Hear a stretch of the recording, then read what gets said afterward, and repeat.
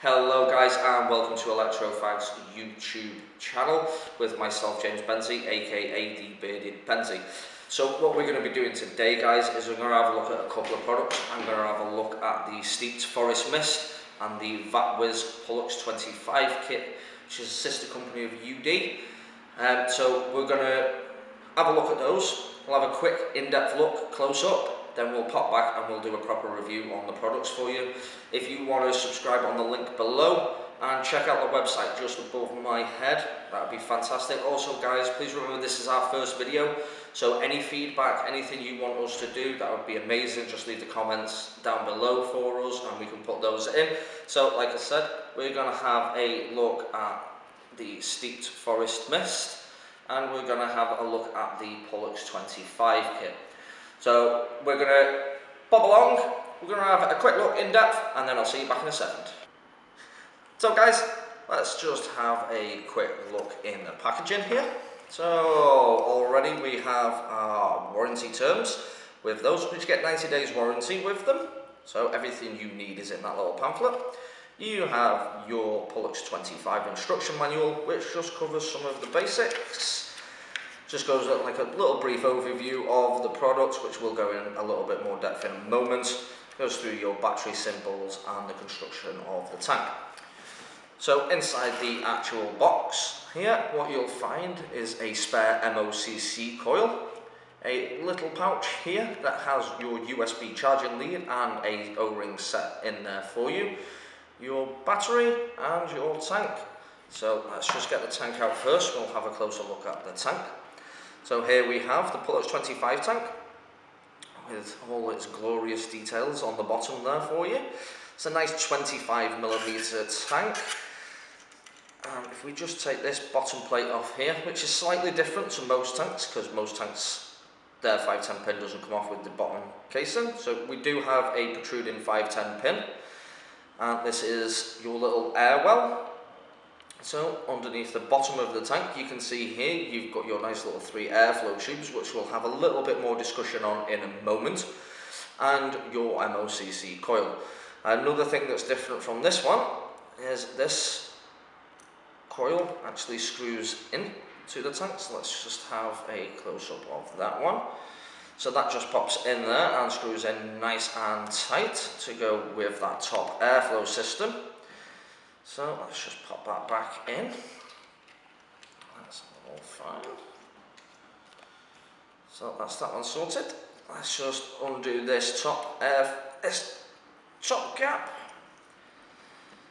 As you can see there, the airflow ring is nice and loose just in case you do want a total unrestricted airflow. I prefer myself to just keep that one on, it just looks a little nicer.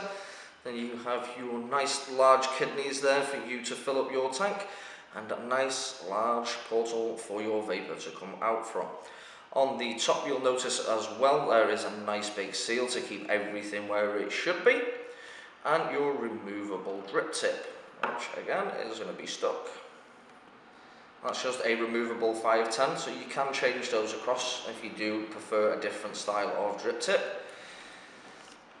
So, like we were saying earlier on, this has airflow tubes which are specially designed to maximize flavor vapor production as well as keeping the tank nice and safe. So you'll notice here you have a nice wide opening there for your airflow which goes down into three separate tubes. And if I hadn't put the bottom back on, we'd have been able to go back. And there is your airflow tubes. So your airflow comes down, mixes into the bottom plate and goes back up through the center of your coil. Now, what's different from other top airflow tanks is they generally have a shroud around their coil to maximize that top airflow. This one doesn't. Um, so that's an in-depth look at that tank for you. So we can pop that one back and then we'll have a quick look at your battery. So here we have the Vatwas Plus 25 battery, which is a 3200 milliamp hour battery. I actually have this and I only charge mine every couple of days uh, and I use mine every single day.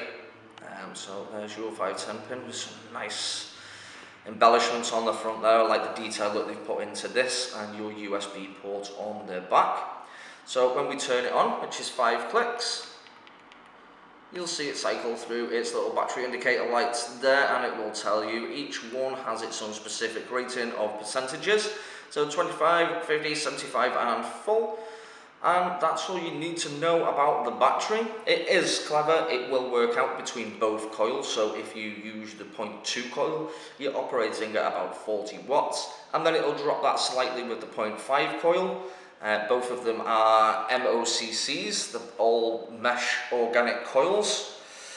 So there we go. And welcome back guys. See that nice little jump there?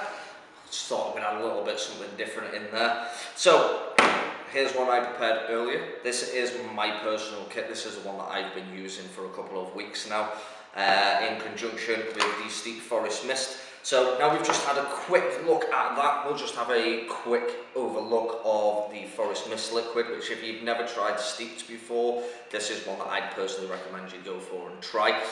These are a cherry, blackcurrant, menthol, little bit of eucalyptus and a little bit of aniseed. Uh, there are 70-30 VG-PG mix and the flavour in this thing is insane. Literally, if you have tried versions before, such as Red Astaire, Pinkman's and stuff like that, this thing beats them all. This thing for me is my winner. That's why I've chose this one to do today, just because I fell in love with it. So I'll put a link up just above my head where you can go and purchase Steepd from. So definitely that one's worth having a look. So I'll just move that to one side now because we've already tested that one. And we'll move back over to the VapWiz Pullox kit. So as you can see, this is mine. Mine has been used every single day for the past three weeks now, I think I've had this for. And I've dropped it, it's been kicked across the shop, it's had all sorts done to it, and it still looks brand new.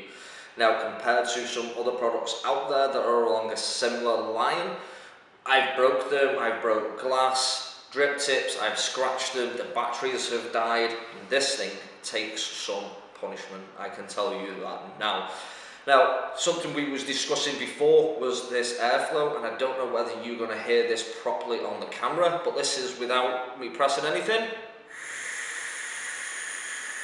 That unrestricted airflow, and even just off doing that, I can still get a little bit of flavour of my liquid coming through.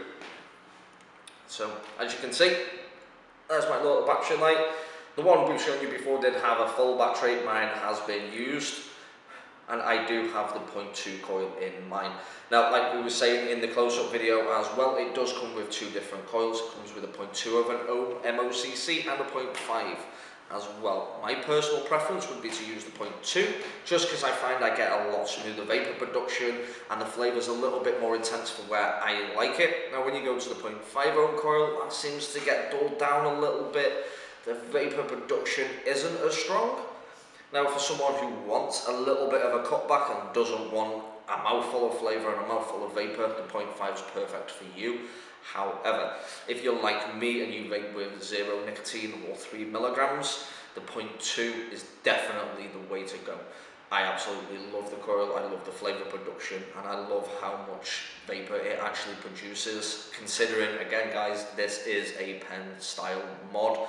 They are not known for fantastic flavour and fantastic vapour production, but again, these guys have knocked it out of the park. Now when we're on about VapWiz, they are a sister company of UD, which is synonymous name in the vape industry for producing quality products. So this comes as no surprise to myself that this is exactly as it says on the tin and does exactly what you want it to do. So let's just have a look. Again, I am tasting the Forest Mist, so